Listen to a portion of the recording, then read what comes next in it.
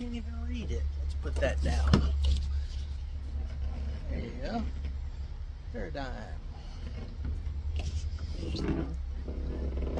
And this has to be the model with the largest basement ever. This is my drill. You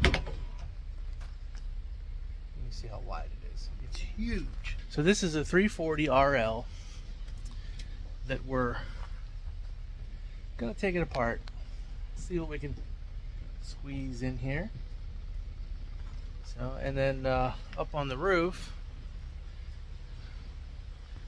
we have.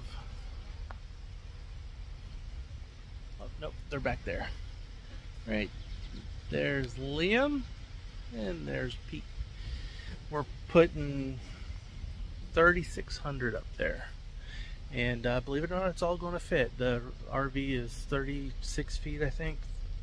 I don't know. I'll have to look that up. But for the most part, um, this is going to be an awesome install.